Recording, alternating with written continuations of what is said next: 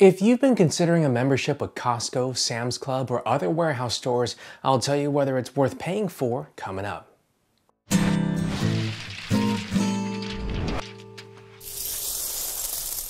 Hello, I'm Bobby Lee, and this is a Money Crashers crash course about whether shopping at a warehouse store is worth it. You've probably heard your friends or family brag about the great deal they got on a new flat screen TV at Costco, or maybe the deep discount they got on a pack of paper towels at Sam's Club. And how about those cheap pizzas and hot dogs? It's no secret that millions of Americans have figured out the allure of bulk buying at warehouse clubs. One annual membership fee allows you access to the club and all of the services it offers. In fact, over a third of America holds a membership with a warehouse club.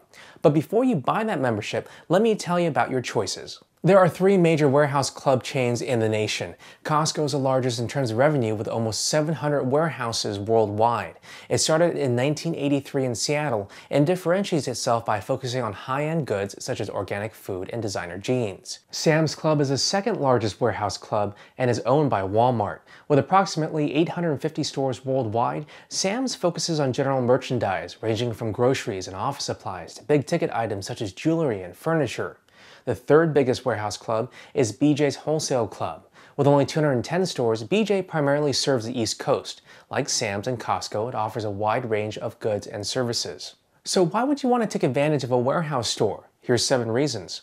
First, you'll have access to great prices. According to a 2011 study by ShopSmart, both Costco and Sam's Club beat supermarket prices on most groceries by at least 20%. A few items offer even bigger savings. Batteries, Cheerios, and Thomas's English muffins were priced less than half of what they cost at supermarkets. In a separate report, Kiplinger says warehouse stores offer the best prices on tires, noting that one high-performance brand sells for around 20% less at Costco than it does at Sears. Kiplinger also says that that warehouse clubs have great deals on TV sets, beer, designer watches, and even coffins. Second, you'll have access to incredible services. Costco members can get a special deal on insurance, auto rentals, and travel packages. The store also offers banking services, eye care, and water delivery for home and businesses. Costco even has teamed up with auto dealerships to give its customers discounts on many car makes and models. Sam's Club has an even wider menu of services, including health screenings, home improvement, and legal services for businesses. On top of that, both stores offer discounts on movie tickets. Third, warehouse stores have high quality brands. Consumer Reports says that many products from Costco's house brand, Kirkland Signature, are as good as or better than their name brand competitors. The magazine's editors recommend Kirkland's laundry detergent, batteries, bacon, mayonnaise, and organic chicken stock. The magazine also gives high marks to Member's Mark laundry detergent, a Sam's Club brand in a 2014 test. Fourth, warehouse stores are a one-stop shop that allows you to condense many errands into one. You can pick up your glasses, get new tires, book a vacation, and buy groceries all in one trip. Fifth, they've got free samples. While this is no free lunch, shoppers at warehouse stores can stroll through the aisles noshing on samples of assorted food items. Of course, they hope that you'll buy the product, but it's a great opportunity to sample new items without buying the full package. Sixth, warehouse stores provide a more pleasurable shopping experience. In a survey by Consumer Reports, Costco shoppers reported being more satisfied with their experience than shoppers at nine other major retail chains. Similarly, a 2014 survey about customer service by Temkin found that it's very similar results. Sam's Club was rated among the top 10 companies with 81% of customers saying their service was either good or excellent. Costco and BJ's came in a bit lower down the rankings with a respectable 79%. Seventh, they've got great return policies. If you don't like the item, take it back, even nine months later. Both Costco and Sam's Club offer a 100% money back guarantee on virtually everything they sell. If you're not satisfied for any reason, you can return the item with your receipt at any time. One exception is electronic items, which can't be returned after 90 days. For fresh food items, Sam's Club's guarantee is even stronger. You can return the item for double your money back or get your money back plus a replacement. Now, there are some downsides to shopping at these warehouse clubs. Here are five of them. First, all of them charge a membership fee, anywhere from 45 to $100 and up. At the upper level membership, which costs roughly twice as much as a regular membership, it gives you 2% back on nearly everything in the store. But that means you have to spend between $2,500 and $2,750 per year before the higher level membership will pay for itself. Second, all the packaging is so big. Warehouse stores are known for their jumbo sized packages. Buying in bulk saves money and makes sense with certain products you use a lot of, such as mouthwash or soap. But it can be a problem with products that don't keep well. You really don't want to get stuck with five pounds of cheese unless you're really going to eat it before it goes bad. The extra food is just a waste of money. Third, warehouse stores are ripe for impulse buys. Every warehouse store is crammed with delectable and enticing goods. You may walk in wanting cereal and milk, but you could walk out with a new vacuum cleaner and luggage. If you are easily tempted to overspend while shopping, warehouse stores are fraught with possible dangers for you. Fourth, they don't take most coupons. Neither Costco nor Sam's Club accepts manufacturer's coupons.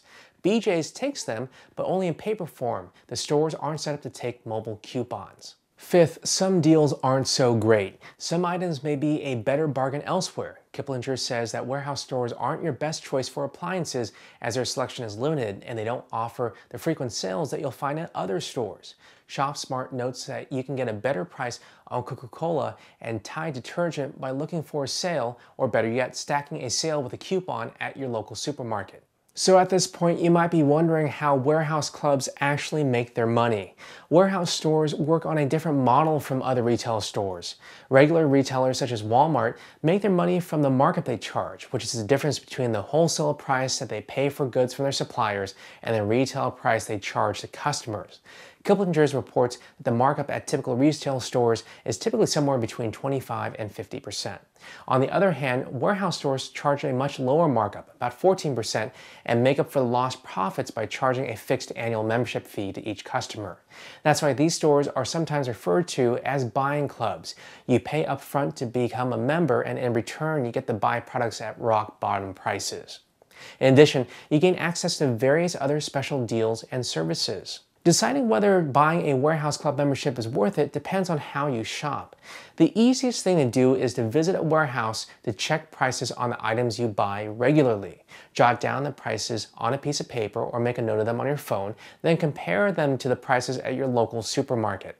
In order to gain entry, you'll need to tag along with a friend or family member that is a member. In the case of Costco, if you can get your hands on a Costco gift card, they'll let you in as well without a formal membership. With Sam's Club and BJ's, you may be able to score a one-day shopping pass on their website.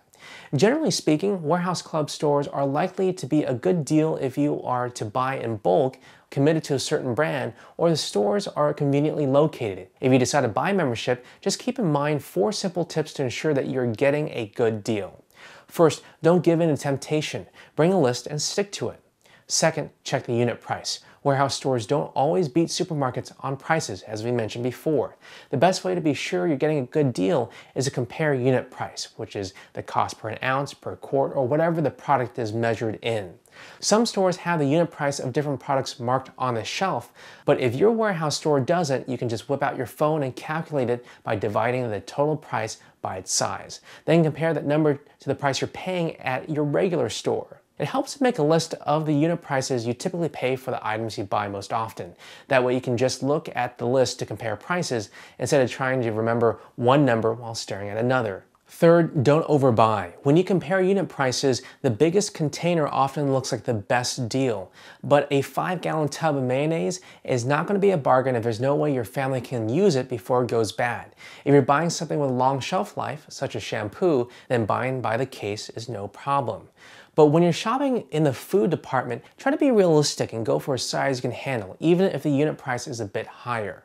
Fourth, focus on finding the best deal. If you take advantage of warehouse store's variety to do all your shopping in one trip, you're almost surely to be overpaying for something. To get the most bang for your buck, concentrate on items that are great deals in your particular store. And if you're looking for big ticket items such as jewelry or electronics, take the time to shop around. Don't just assume warehouse store prices are the best. So the bottom line here is that the decision on whether it's worth it to shop at a warehouse store is pretty complex. Do your homework and take advantage of trial memberships available online. Let's review what we went over today. First, we talked about the three big warehouse club chains in the country. Second, we talked about why you'd want to shop at a warehouse store. Third, we talked about why you wouldn't want to shop at a warehouse store. Fourth, we talked about how warehouse stores make their money. Fifth and finally, we talked about things to keep in mind when deciding on buying a membership and the best way to go about testing out the experience. For more information on the best tips for shopping at a warehouse club, visit our website at moneycrashers.com. For Money Crashers, I'm Bobby Lee, and this has been a crash course on whether shopping at a warehouse club is worth it.